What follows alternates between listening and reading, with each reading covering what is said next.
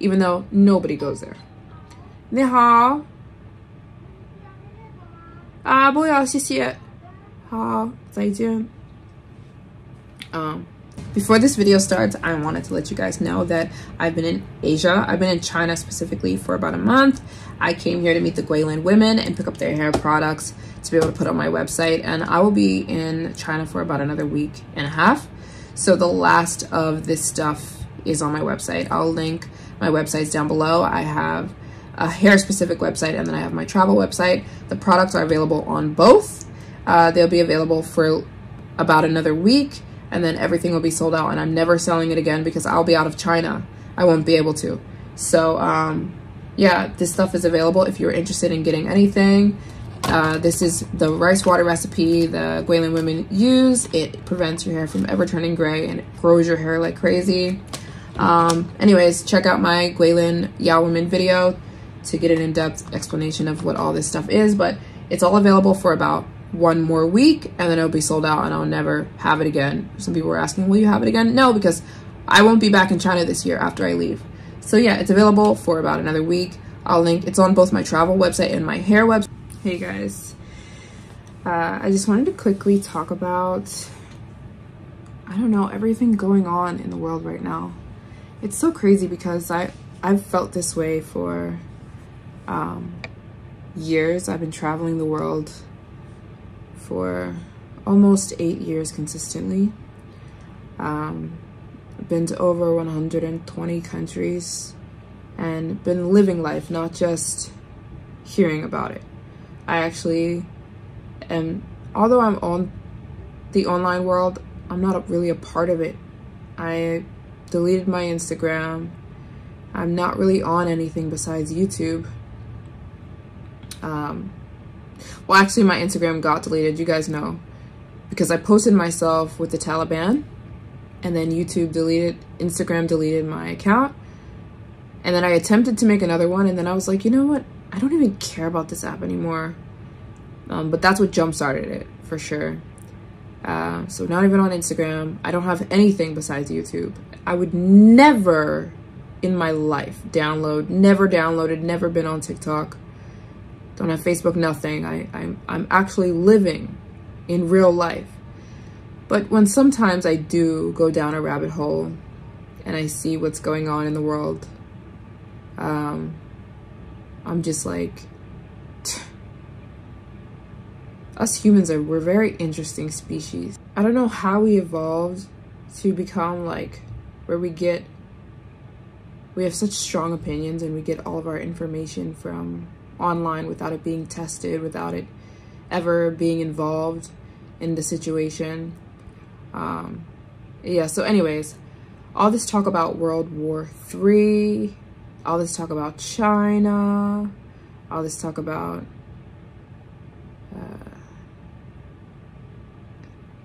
stuff like that. And honestly, I think we already are in World War Three. I think it's already started.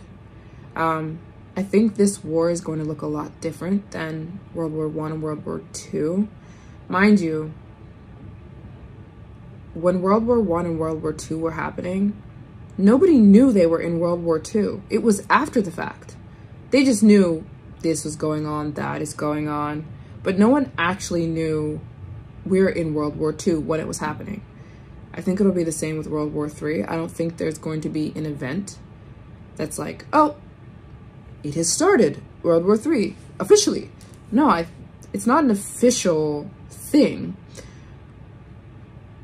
I think it started, and I think this World War, the third one, is going to, it exists mainly online. I already see it. I already see it. You guys, what does it matter what reality is in 2024 if everyone's saying the exact opposite narrative? For example, Afghanistan, my second favorite country. It doesn't matter what Afghanistan actually is. No, it does matter in reality, but not online. Everyone has already made up their mind about Afghanistan, even though it's one of the most, it is the least traveled country in the world But everyone knows about it somehow. Every, they all know about the Taliban. Everyone knows how women are treated. Everyone knows, even though nobody goes there. 你好。啊，不要，谢谢。好，再见。Um, that's the people asking me if they want me, if they wanted to turn down service, which I don't need. Anyways, sometimes I just think about God looking down at the earth. And I know he, he said he would never ruin it again. When he looked at the earth, when Noah, when this is the, when the earth was still very young, um, he looked at Noah and he said, uh, I, I regret making people and I'm going to kill everybody because I genuinely regret making humans. He said everyone was killing each other, everyone hated one another, everyone was loved sin and hated God and and and he looked at the world and he said, I just regret making it. I regret making no, he didn't regret making the world. He regretted making humans. And he said, I don't want this seed to go on. I I'm ashamed. So I'm going to kill everybody. And he said Noah was the only righteous man. He said, Noah, take all of your sons, your wife, your wife's sons, get on a boat, and I'm going to make it rain. And at the time, you've got to understand, no one knew what rain was. It had never rained before. He said, I'm going to make water fall out of the sky. Everyone was laughing. Yeah, okay. I honestly think when God looks down now, things might be worse than when he said he was going to destroy everyone. But he promised Noah he was never going to kill everyone again. He said, I'm not going to do this again. I'm not going to end the world in in rain ever again. He already promised that. But I think when he looks down, I think he sees worse it's just everyone. If you blow up, if you zoom out, right? All us humans know is Earth. We don't know anything beyond Earth. Earth is our world. So if you zoom out as far as you possibly can, what does that look like? Countries. Countries are as far as we can zoom out on our planet. Countries are no country, we're at war with each other. It's China is against Ukraine and, and, and, and, and Iran is is teaming up with Russia and Russia's on China's side and, and the US is on this side and the US is, is team Russia and, and Israel is on that team and that team and Iraq's on that team and Afghanistan is here and like countries are feuding if you zoom in a little bit more all right countries you zoom in cultures cultures feud with each other you know within the same people in the same cultures are still feuding. If you zoom in more, races, uh, groups, people are feuding within their own racial group. Zoom in a little bit more, families, families are feuding. Families feud with each other, compete with each other, and, and lie on each other, and and turn on each other within families. They're throwing back what they what they got and the world is I think world that's what I'm saying about World War Three. I think we're already in it because I think it's mainly digital. It's China is killing babies. China is doing this. And it's believed. People are really believing it. And, it's, and it doesn't matter what's actually going on because none of that stuff is going on here. I'm telling you. Chinese people are so low key. Chinese people are so chill, but everyone makes them the big bad wolf. Everyone makes them the scapegoat for everything because I don't know, they're so far away and they don't feel the need to defend themselves. And that's so crazy. That's something God's been working on me um, about actually. God has been teaching me recently about not defending yourself. I think there's a lot of beauty and I think there's a lot of uh, humility and courage in not defending yourself, not feeling it. You know how many times I've wanted to come on here and make a video defending myself or explaining something or slandering somebody, you know? There, there, there are times, there have been many times that I've wanted to come on my YouTube channel because you know you get, you, you know you're going to get that justification you're looking for when something's done wrong to you. And I've wanted to talk about people and say what somebody said to me or what somebody did to me and this and this happened to me and this person did this to me and this person did me dirty and this person did this and I wanted to show you all the receipts and I wanted to do this. And God nope. Clearly said to me Mary Jane nope nope. Shut your mouth nope. And I'd be like but God nope. But God is it nope. Shut your mouth Mary Jane. Keep your mouth shut. But God this person did this and they said that uh-huh. you think I don't know that Mary Jane? You think I don't know because God is the ultimate judge. He's the ultimate justifier. But if you want to take things in your own hands, he'll let you. Some and he says that in his word. If you want to take this into your own hands, go ahead, you handle it. But I'm going to tell you something. I would have done a way better job. And I ask you to love people. I ask you to forgive people. One of my favorite verses is uh First Peter. And I think this now our country's ever going to act like this? No. But I think this is how we change the world. We do it as individuals, right? Because the the world is a bunch of individuals, if you think about it. It's just a bunch of us. We're only one person. So if we look at the world as far as us and what we can do, we can change it, right? But it's probably doomed. I mean, it is doomed. It's in the word. There's only going to be more and more and more hate. There's only going to be more and more wars and more everything. So anyways, and the earth is, is reacting. It says in the Bible that the, the earth is reacting to us. The earth is going to have keep having more earthquakes and more natural disasters, more tsunamis. You're gonna we're going to see more and more and more and more forest fires. It's the earth throwing us up because every no one's taking the high road. The high road is shut your mouth. The high road is yeah, you hurt me, but I'm not going to react to you. The high road is let me keep focusing on myself and gardening my own garden before I tell you about your how you're not doing it right. So anyways, uh, I think this is helpful. This so I'm going to read this verse um, in First Peter, which is one of my favorite books. Um, but it says, "Do not repay evil with evil. Do not repay insult with insult. On the contrary, repay evil with blessing." You do you hear this? This is saying when somebody does you dirty, bless them because this is who you were called to be so that you may inherit my blessing. Understand that. God is saying, yeah, I know somebody did you wrong, but I'm telling you to love that person. I'm not only telling you to love that person, I'm telling you to make it nothing. Make it nothing. Make it nothing. Whatever that person did to you, completely drop it. This is something I told you. God told me let it go. Mind your business.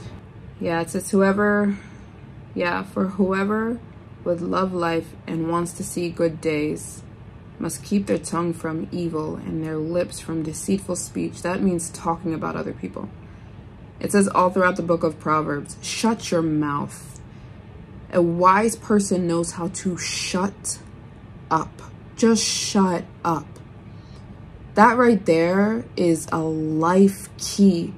If more people could just shut up, shut your mouth, and just literally keep moving forward, keep moving forward, keep moving forward in who you know you're supposed to be and your goals, hustle. That's another thing. So many people have so much time on their hands. They have no success. So all they can do is sit and talk. Like, I, I, I can't imagine people sit and talk about other countries and they've never been. It just doesn't make any sense to me. Never.